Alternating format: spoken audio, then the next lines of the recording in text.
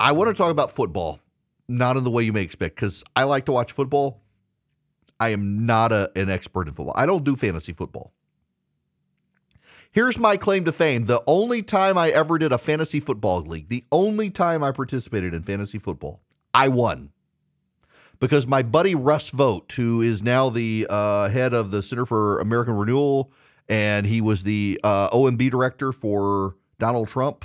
Uh, Russ is a dear friend of mine, and Russ convinced me to uh, that I should do the fantasy football league, and not to worry that he would pick my players for me. Well, he picked the players for me and I won. And he didn't intend that, but I won. I am not, I like to watch a game. I can't tell you what's going on. I try to explain the game to my kid. I'm like, we need to get your mom out here. She knows more than me when it comes to football. I grew up in the desert. I we did camel racing and we had soccer. We didn't have football. I mean, we had football, but it was soccer. Nonetheless, I watched that game last night between the Steelers and the Browns, and it was horrible. You could hear what happened to Nick Chubb. I mean, they're they're talking about it, and in the background you're oh oh. I mean, like turn the microphone off. I don't need to hear this guy. He's like shattered his knee. It was horrible, and so they showed the replay in the stadium and you're listening to the crowd in the background, you're listening to the commentators, you don't see the big screen where they're replaying this, and the entire crowd goes, it was awful. It was gut wrenching. It makes you want to hurl just thinking about it. And you could hear the guy in the background just, oh, it was horrible. I'm glad ABC didn't do that replay. While it was going on, the Saints were playing as well. And I'm from Louisiana. I like the Saints. Uh, but I, I, also like the Steelers, and that was the Monday night football game for me. I didn't watch ESPN, although I've started watching the Manning cast on ESPN too, where Peyton and Eli talk to each other through the game, which is it's it's a fun show to watch. However, there's actually a larger point than me talking about football, of which I, I enjoy watching the games, but I'm largely ignorant of it.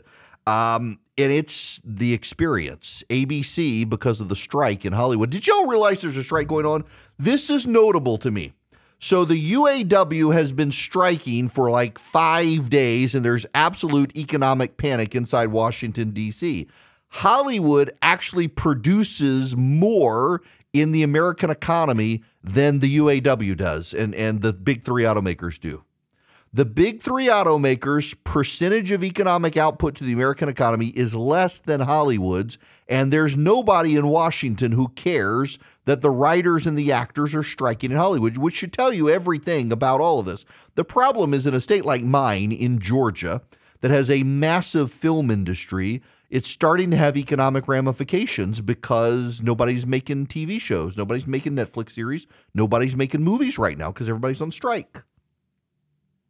ABC is going to be showing more Monday night football games than originally planned because of the strike. They don't have new content. Their start streaming outlets are starting to cancel shows. And the TV uh, networks are starting to say if, if we can't get this resolved in the next two weeks, we got to cancel the TV season, which is going to be devastating because we're in this transition from cable to streaming services. But we're starting to see where this is shaping up. For example, last night I watched the ABC game on YouTube TV. I've got DirecTV. I can't tell you the last time I actually turned on DirecTV at my house. The reason I have DirecTV is that if I'm here at my office and I want to watch something, I have an Apple TV and I've got the apps for all the TV networks. And if I put in my DirecTV password, I can I can stream it. So if I'm at the office and there's breaking news, I can pull up CNN on my laptop. I use my DirecTV login and I can see it. The problem for the big cable operators like Charter, of course, is is in a fight with Disney. Is there's clearly a transition happening, and the cable networks are starting to realize, you know, we can just provide the internet and let another company come forward and provide the cable TV package. Disney's looking at the thing and saying, you know, uh, I don't have to put my shows on cable. I can make people get a Disney Plus subscription.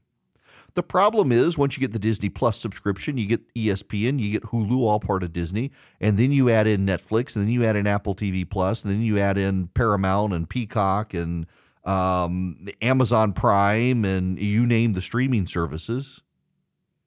At some point, you're paying as much or more than you were for your cable package. So now you have groups like Fubo and Sling with Dish Network and YouTube TV. They're producing a cable TV package where you get the channels. So I had Fubo, which has a lot of international sports, but it didn't have all the news programs that I liked.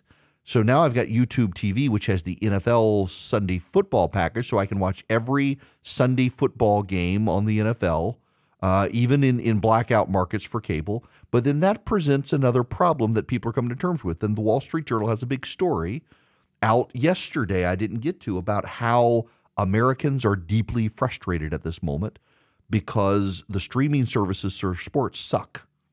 You got to have multiple packages. You don't know where to watch the game. Half the time you can't watch the game. The games are blacked out. Uh, but if you buy the streaming t- cable service like YouTube TV, you can see the game. If you look at if you get just a standard like package for ESPN or Bally Sports, you might not be able to see the game. Nobody knows where to go to see their favorite team. This is not it, y'all. This is not it.